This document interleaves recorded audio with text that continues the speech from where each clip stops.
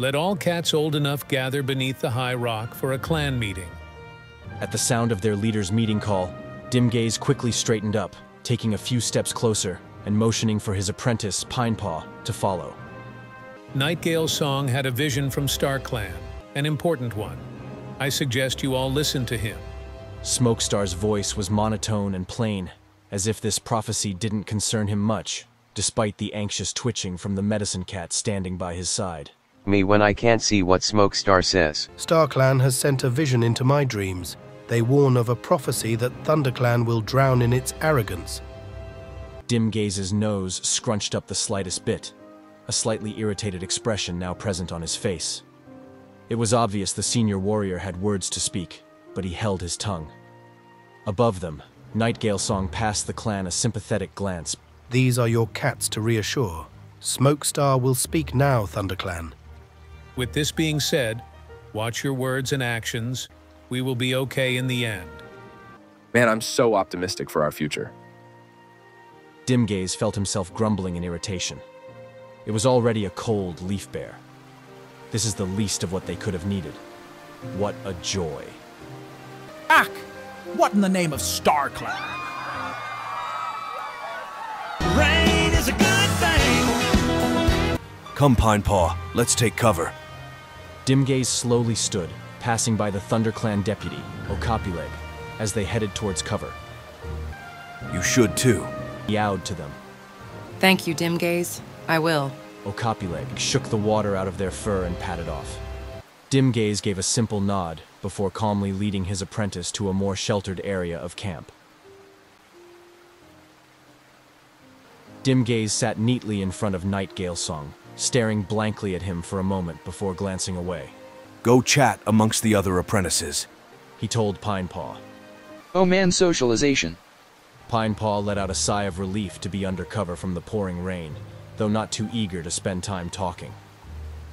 This prophecy worries me. Have you even had much time to speak with Smokestar about it before announcing it to the clan? They're right behind me, aren't they? Gulps. I haven't. We've been going back and forth, but there's no conclusion aside from a warning. Nightgale Song hummed.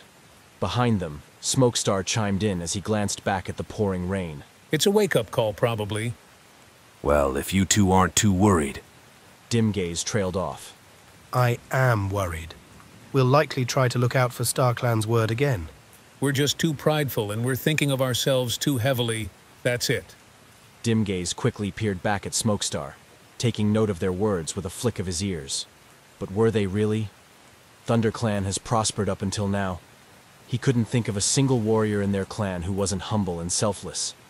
As Smokestar padded away, Dimgaze glanced back at Nightgale Song yet again. The Tom was silent and deep in thought. Maybe StarClan is right, but that doesn't count for all of us, Dimgaze. All we can do is be careful and level-headed for the clan. That's what matters. Nightgale passed the dark-furred Tom a small smile. Dimgaze dipped his head in agreement. Whatever it is, Nightgale, I have faith that ThunderClan will grow and improve through this. Nightgale Song chuckled, a fond look in his eyes. It'll all be all right. I'll see you later. Goodbye, my friend. Dimgaze gave another curt nod before standing himself. Once he finally looked back over at his apprentice, a small scowl of disappointment formed on his face. Pinepaw turned around to look at his mentor, his face flushing in slight embarrassment. You'll have to converse with your peers someday, Pinepaw. Oh hey, the rain stopped! Pinepaw meowed quickly to change the subject. Dimgaze's stoic face instantly dropped, although he tried to not show his further disappointment. It has. Would you like to share a mouse? If they aren't too watery from the rain. We'll give them a good shake. Dimgaze responded with a soft smirk. Mayhaps you lot should stay inside. There might be leftovers in the warrior's den. I'll check for you too. Dimgaze leapt along the long clearing as swiftly as he could, savoring the feeling of his paws on soft, dry ground once he stepped into the warrior's den. Dear stars. The old Tom cursed as he slowly padded inside, wriggling himself in beside Wormwriggle. I couldn't imagine this harsh weather would be kind to you, my dear. How are you holding up? I'm holding up well enough. It's cozy back here. Once I lose the rest of my fur, I won't have to worry about it sticking to me. Worm Wriggle sniffled. How have you yourself been holding up? Fine. I spoke to Nightgale. He said there isn't much to worry about. Me when I lie. He glanced back down at her. Although I do have an apprentice stuck to my side like a bramble thorn. I wish I could help there. But I was a bit of a problem apprentice, and I was younger as well. Ah, so I've heard. Dimgaze replied with a teasing smirk. But you've become a wonderful warrior, and I have no doubt that Pine Paw will be as well. She snorted. I have, and I'm certain Pine Paw will too. Dimgaze gave a few relaxed flicks of his tail. It was nice exchanging words with Worm Wriggle. It let him see another outlook on things that were worrying. Thank you for your encouraging words, dear. He'll be a great warrior one day. But if I can't go out and get a mouse for him, he'll starve before he has the chance to. MMM Soggy Mouse. My favorite. The Tom picked out a plump mouse for him and Pine Paw to share. You are a blessing, Okapi Leg. He meowed through the Soggy. mouse in his mouth. Is everyone okay? Meow. Meows in your ear. Hi, Dim Gaze. If anyone starts coughing, come to my den. I'll be returning soon for Pine Paw, don't worry. I'll get him out of your fur soon. It's all right. I enjoy the company. Nightgale Song chuckled. Maybe it'll have you visiting more.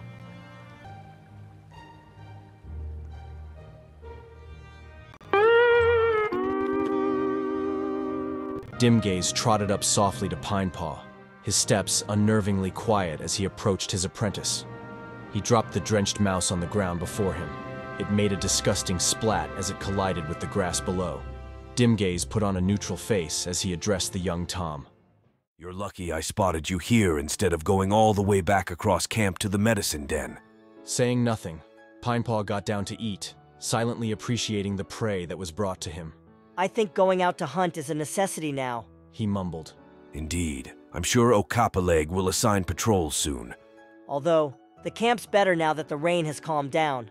Pinepaw mewed in between bites. There's no more vole-sized hail pebbles being aimed at my head. The apprentice's soft, playful tone did nothing to ease Dimgaze's anxieties. I hear most cats are getting sick. He tilted his head back to the warrior's den. If this rain continues every nightfall, the camp will be flooded. Pinepaw's ears pinned back. I've been trying very hard to stay positive in this bad weather. Maybe something to do will get Pinepaw's mind off of all this. After a bit of silence, Dimgaze spoke up. Since the deputy hasn't assigned patrols yet, I'm putting you to work.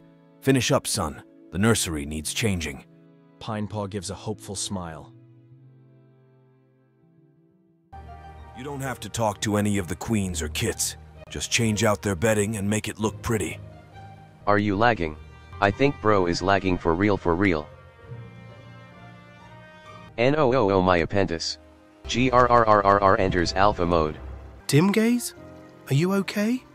I got white cough. Fine, but Blazepaw doesn't seem to be. I do not feel okay. They have white cough. I'm nearly out of catmint. His eyes grew sad. I see. Has Okapileg sent out patrols yet? Brought some where you want it. Catmint. Put it on the shelf. Right on time, Dimgaze approached the patrol of warriors. Nightgale why are you so tall? Tall people should be banned from Thunder Clan. It's a part of his charm. Grr. Rest well, you three. We don't want any more warriors getting sick. Dimgaze grumbled. Lesson party mode so I'm immune. He registered their words. They were worrying, but they were right. Prey was running out. He should check on Worm Wriggle. Disconnected but I'm back. I had a feeling you did. I am going to give Pinepaw forced socialization any tips oh, Owo. Make him help my apprentice. Dimgaze glanced over at the nearby apprentice, and an idea sparked in his mind. I'm bored. Pollen Paw scoffed. I can fix that. How? Pine Paw has nothing to do either. How about you lessen Nightgale Song's workload by cleaning out the medicine den with him? Sure, I'll go get him. Thank you. You're a dear. Hi Soggy. Yo. Soggy cats aren't allowed in sorry. Dimgaze leaned down to give his friend a lap over his ears before standing and padding out. Sleep with one eye open tonight, dim gaze. Wow, a threat. Dim Gaze approached the small crowd of cats, listening in on Honey Leap and Smokestar's conversation. Was he hearing this right? Did Smokestar just suggest that they fish? Like we need any more warriors coming back to camp dripping ear to paw. Like we need more warriors starving. Smokestar, I could count on a paw the amount of warriors in ThunderClan who know how to fish. Dim Gaze replied sternly. And? Do you have any better ideas? If you want an old Tom suggestion, I say we should dig up the roots along RiverClan's territory. They're not good to have for every meal, but it'll fill up the warriors' bellies so we can hunt longer. ThunderClan turns vegan. We'll do that too then. We don't have many options. Like it or not, this is how we're going to tackle the problem. The warrior sat himself beside the balding she-cat, letting out a breath as he felt her presence calm him down. Stars, I need a nap. MMM stick. With how the weather's turned, maybe we should head to the warrior's den. That would be smart. Dim Gaze meowed in agreement. Ah, I forgot to tell you. He begun. I convinced Pollen Paw to get Pine Paw to help clean out the medicine den. Oh, that's good. She hummed around the stick. Okay, nappy time.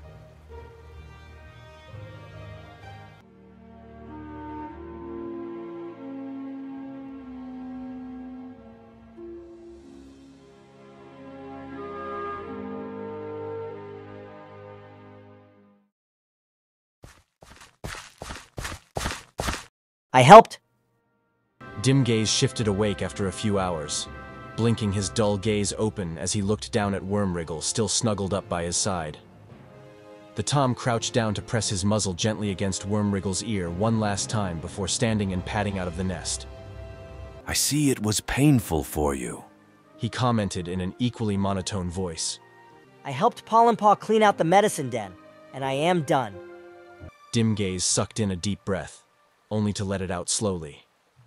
Well, I know how much you disliked it, but I'm proud of you, Pine Paw. When's the last time you took me out to hunt? Clean this den. Clean that den. Dim Gaze stepped closer to place a paw against Pine Paw's right shoulder. It's nothing personal, Pine Paw. He replied dully. You started your apprenticeship during a hard time. Leaf-bare hasn't been nice this season. I know you'll be a fine hunter and fighter, and an even better warrior overall. I know it seems like punishment work, but caring for the clan is top priority. Pinepaw sighed, knowing that his mentor was right, however much he disliked doing these jobs inside the camp. Dimgaze's expression softened ever so slightly as he reached a paw over to Pinepaw again. I'll promise you this. As soon as the storm clears down, I'll take you out to ThunderClan's hunting grounds. First thing. If the storm ever ends. He chuckled, though still a bit worried. But thank you, Dim Gaze. It will, son. Stay positive. Now go rest. You'll be off duties for tomorrow, but it'll still be good to reserve your energy. He nodded, trotting off to the apprentice's den. Dimgaze watched him leave with a soft grin. Dimgaze soon turned to catch Wormwriggle's eyes, holding her soft gaze. Good night, my dear. We'll speak in the morning? It is morning, never mind. Take care. He purred back at her before exiting the den.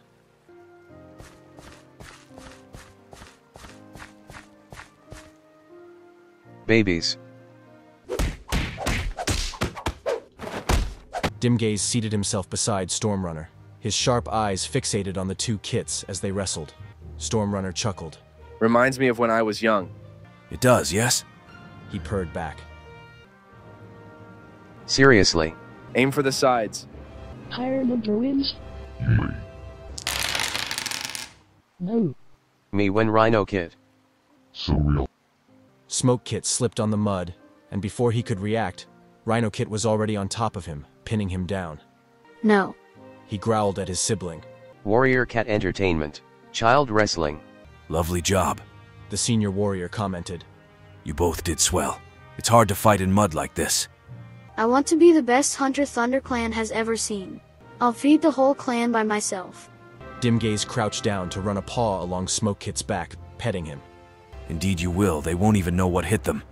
I'll be back. Stormrunner? Dimgaze called back, confused by his sudden leaving. Smoke Kit blinked in surprise. Did I offend them? Everyone, please relocate to the apprentice or warrior's dens. We think these lower dens may flood. Goodness, it's that bad. Dimgaze dipped his head down to pick up Smoke Kit. You heard Okapileg.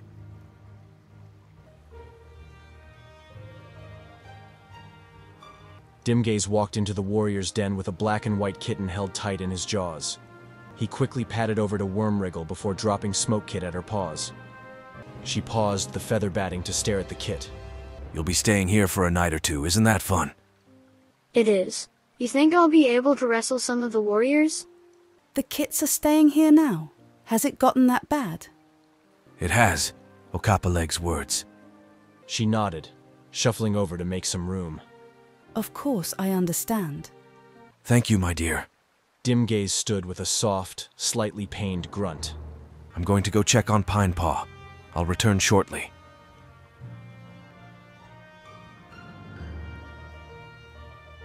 Dear StarClan, arrange for a burial. Nightgale Song frowned. Stormrunner nodded, then choked out another sob. What is this I'm hearing? A burial? It's Pale Feather. I found him cold in his nest. Dimgaze's face instantly dropped. I knew they weren't doing well. I didn't know it was that bad, though. We can mourn later, Stormrunner. Let's make sure no cat else loses their life to this. Another threat? They've already killed a kit. I won't run from those cowards. Razor Whisker growls, glaring up at the sky. Ooh. Dude, I thought you died. Hey, gang, what did I miss? We were planning your funeral. Serious? Didn't you die? Dimgaze stared blankly at Razor Whisker as he waited for Okapileg to reason with the old Tom. Hmm, I'm too old for this. He grumbles. You'll be fine. Dimgaze held back, and annoyed scoff as he slipped to the elder's side. Relieved, Okapileg sighed and crouched down, allowing Razor Whisker to rest half of his weight on them as well. This is part of the role play where my words start making no sense. Dimgaze struggled up the steep slope, grunting as his front paws slipped against the wet stones. Okapileg grunted as they helped support Dimgaze's weight, soon pulling the three of them up the slippery cliff. What would the clan do without you, Okapileg? He thanked them. Hold it. Razor Whisker gives Okapileg a sniff. Me when I sniff you. Me when getting sniffed. Oh my god, me when I load. You. Hurry this up, Razor Whisker. You'll cause us to drown if you don't. Go get the medicine cat, Dimgaze. He mutters. Dimgaze hesitated at first, wanting to ask why. I will. Dimgaze slipped down the cliff of wet rocks, grunting as he landed hard on his shoulder blade. Smokestar quickly rushed to help him. Let's get you back up. I'm fine, Smokestar. I'm all right. He quickly tried to dismiss the leader. All right, you do you. The herbs are destroyed. Well, what? Dimgaze gasped sharply. Gone? Destroyed? All of them? The wind must have knocked them off the shelves and into the water. Well, safe to say we're doomed. What a positive influence you are, Smokestar. Let me put you in my situation. Uh-oh. I've had a kit, a few warriors and apprentices die. We have no food. My camp is flooding. Sarcasm is all I got right now. Aye. We've got to go. Get your tails out here now. We can't have the most important cats drown. Yes. What good would it do if they died here? Dimgaze returned, his thin pelt dripping with rainwater as he stepped into the crowded den. Guys, it's okay, let's all just get a straw and drink all the water up. Guys, what if there's a mudslide that traps all the exits? We drink the mud, come on, use your solving skills. What if we sacrifice Smoke Star to the gods as appeasement? Smart.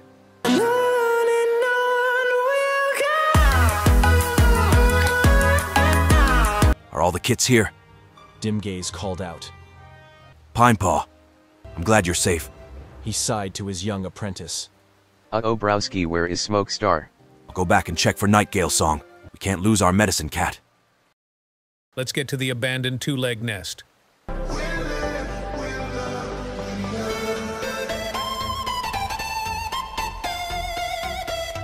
Dry. Dimgaze liked dry. We're missing a lot. He meowed to himself. I think I'm dehydrated. Thanks for bringing the snack star of smoke. He snatched the can. Bruh. Hey! Kits and queens first. Doesn't mean they can eat it all. It's in the code that they eat first. I'm saying we ration you mouse brain. You think they'd eat it all? Think. Yes. Good riddance. I can't with you. Drama in Warrior Cats. Poke Pop. Embraces. They went to me in our super secret chat and asked me to kill you or not. So I said. They all die. I did indeed say kill these people.